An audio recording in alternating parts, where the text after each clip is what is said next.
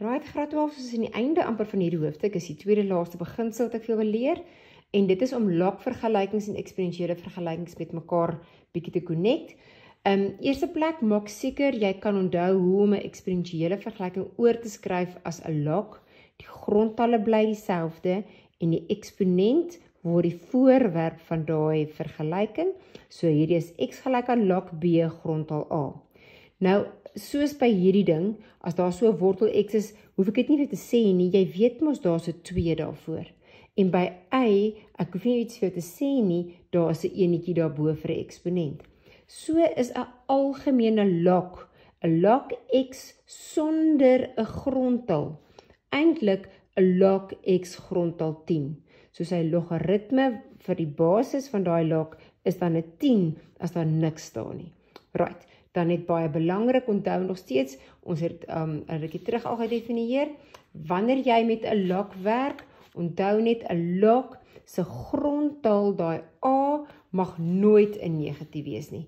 En die b ook nie hulle albei moet positief wees. As die a 'n 1 is kom ons nou terug by hierdie vergelyking 1 tot die mag x beteken 1 tot die mag enige ding is altyd 1 So b gelyk aan 1 beteken dis net een reguit lyn. So hy's nie eksponensieel nie.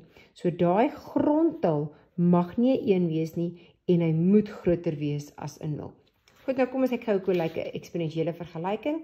Nou 'n graad 8 enetjie wat jy nou al baie maklik kan doen, is hierdie ene. So ons weet as ek sê los op vir x en ek gee vir jou 'n vergelyking, dan wil jy probeer die grondtalle dieselfde maak en dan stel jy die eksponente gelyk. Nou wat doen mens dan as jy 'n vergelyking het wat jy onnie dood nie die grondtalle dieselfde kan maak nie? Dan gaan jy self moet weet al hoe om jy hoe om kan oplos is om te oor te skryf as 'n log. So om te skryf as 'n log beteken dit die x word die um, onderwerp van die vergelyking. Die grondtal bly 'n 3 en dit word dan 'n log 10 grondtal 3. Nou om dit uit te werk, gaan jy dit op jou sakrekenaar tik want jy gaan dit met jou kop kan uitwerk nie.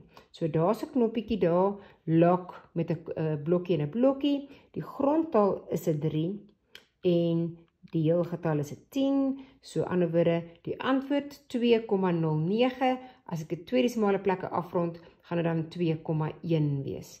Right, so ons tik dit op die sakrekenaar en jy kry 2,1 as jy dit in twee desimale plekke sou afrond. Goed, so nou kyk mooi. Ek hoop jy kan onthou lyk like die graad 11 vraestelle. Die vraag is gewoonlik by vraag 1 by algebra vraestel net los op vir x. So as jy dan sien is eksponensieel en jy sien maar jy kan nie die grondtal dieselfde maak nie, moet jy self weet. Dit beteken jy moet hom herskryf as 'n log en dan moet jy op jou sakrekenaar hom gaan bereken. Gelukkig partykeer skryf hulle ook vir jou by so 'n som ehm um, rond jou antwoord af tot desimale plekke, dan moet jy dadelik weet dis wat hulle bedoel, jy moet hom gaan skryf as 'n log. Right, nou voor ek by die log vergelykings uitkom, kom sê ek gaan na die sonnetjies wat in jou handboek is. Nou by hom in die handboek sal jy sien hulle gee vir jou nou daai een wat ek nou net gedoen het, by nommer B is daar nou 'n vergelyking um, met meer as een term vir 'n eksponent. So as jy suits gaan kry, ehm um, dieselfde beginsel geld nog steeds. So jy gaan eers die 5 wegdeel en nou sien jy is hierdie 'n gewone eksponent gelyk aan 'n heel getal. Om dit op te los, kan ek nie die grondtalle dieselfde maak nie. So die eksponent word die onderwerp van die vergelyking. Die grondtal bly 'n 4, so die vergelyking is 3x - 1 is gelyk aan log 12 grondtal 4. Right, en dan is 'n gewone vergelyking wat jy x wil alleen kry. Daar gou 'n rotjie gaan jy op jou sakrekenaar tik. Jy tel die 1 by en deel hom met 'n 3 en jou antwoord gaan 'n desimale getal wees. Nou hierdie is 'n ou graad 11 sommetjie wat jy ook al baie keer gedoen het en tot op 'n punt gekom het. So jy sien die eksponente is dalend. Ons gebruik gewoonlik die K-metode.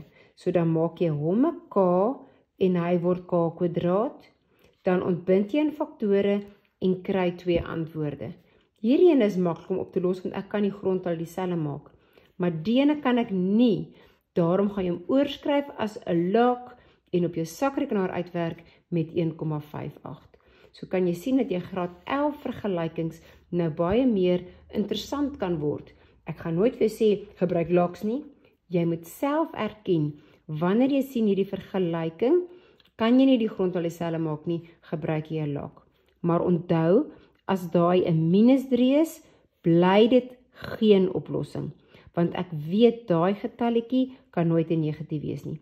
En enige eksponensiële vergelyking kan nooit 'n negatiewe antwoord hê nie. So dan bly hy geen oplossing.